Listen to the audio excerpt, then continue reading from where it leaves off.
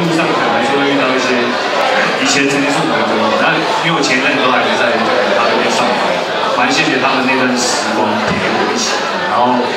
现在就有很多路上的人，在我们接到声音的时候，也也也会认识我们。